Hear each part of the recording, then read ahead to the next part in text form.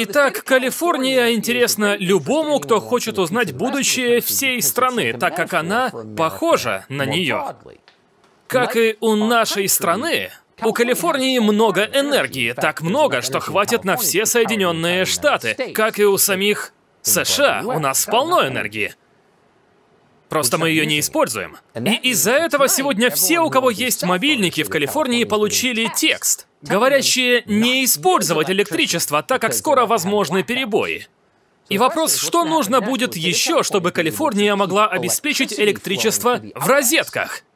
Вроде как базовая потребность цивилизации. Мы не знаем, что будет. Может, Трейс Галагер знает? Он следит за этим. Эй, Трейс.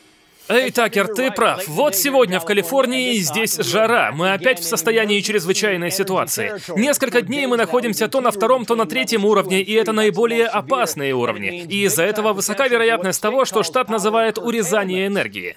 Ты и я это знаем как отключение или веерное отключение. И вся идея поставки энергии веерна в том, чтобы вся сеть не легла, оставив в ближайшие дни миллионы на этой жаре.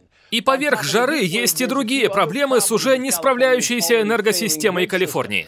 Гидроэнергии меньше, так как уровень воды упал. Солнечной энергии больше, что хорошо днем, но у штата недостаточно аккумуляторов, чтобы запасать ее, так что пользуемся пока светло. Поэтому большую часть времени, особенно ночью, система работает на старом добром ископаемом топливе. И во время этой рекордной жары мы узнали, что губернатор Гэвин Ньюсом очень клевый, настолько клевый, что надел флис флисовую куртку в, как он говорит, комнате при 25 градусах.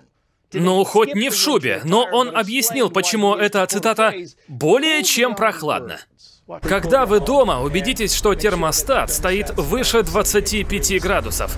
По ощущениям, это более чем прохладно. Я вошел, там 25 градусов, и мне понадобилась куртка из-за разницы температур внутри и снаружи.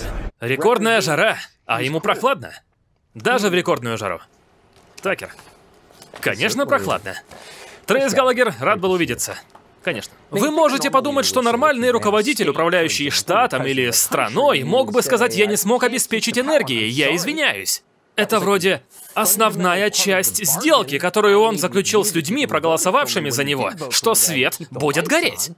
Но они никогда не извиняются, они винят вас. Не пользуйтесь сушилкой. Ладно, друг, ты перестань использовать свою, как тебе? Помните, во время ковида...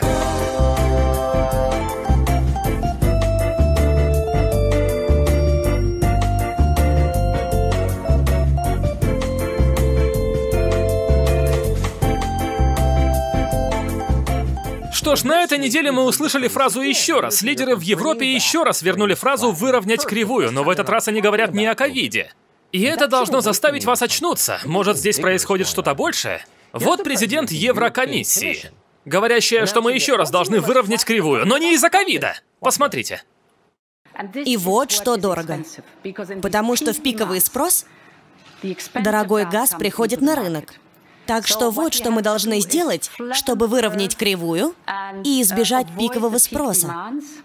Мы предлагаем обязательное уменьшение потребления энергии в пиковые часы.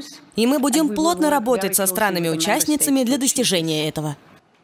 О, мы должны выровнять кривую, так как вы облажались, и у нас теперь нехватка энергии. Как скоро будут климатические локдауны? Давайте еще раз. Как скоро будут климатические локдауны? Смешно?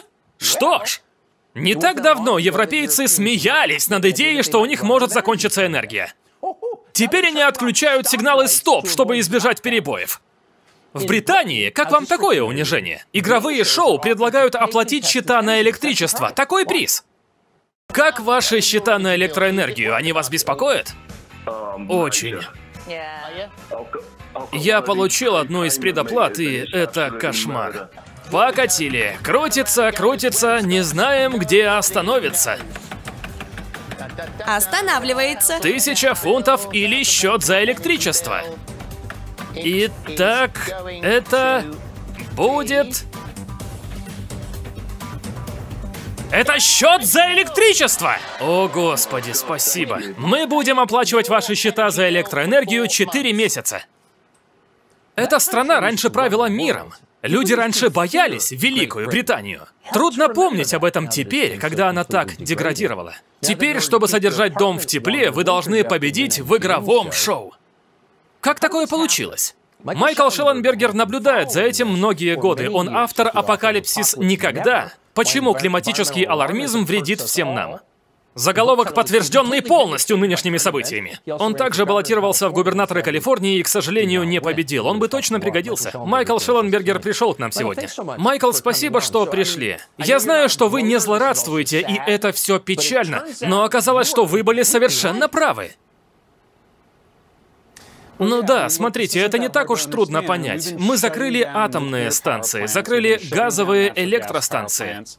Мы платим за электричество больше, чем кто-либо в Соединенных Штатах, а они не могут дать свет. Вы видели губернатора во флисовой куртке. Варианта нет, что там было 25 градусов или теплее, когда он был в нем. Там был кондиционер. Он не извинился за то, что он здесь натворил. Это яркий пример, как идеология делает людей некомпетентными, делает их тупыми, если честно. Этому нет оправдания. Во время этих перебоев, вы знаете это, Такер, люди умирают. Кондиционеры не работают, старики и больные наиболее уязвимы. Это непростительно. И я думаю, это предупреждение Соединенным Штатам не идти по этой дорожке слишком большого расчета на возобновляемую энергию. И это и правда культ. Он не извинился, так как он искренне верит в единственно истинную религию возобновляемой энергии. Я тоже об этом говорю. Ну да, я слышал об этом. Когда люди отходят от традиционной религии, они объявляют природу новым богом, богом-жертвой от которого они с одной стороны принимают указания, а с другой хотят сблизиться через возобновляемые. Проблема в том, что погода не сотрудничает, так что у нас не хватает энергии для гидроэлектростанций. Мы сегодня получаем на 10% меньше энергии из неуглеродных источников, чем 10 лет назад. А еще они уничтожают среду, так как вообще-то они не любят природу. И нас, тех, кто ее любит, это волнует. Майкл Шелленбергер, огромное спасибо, что пришли сегодня.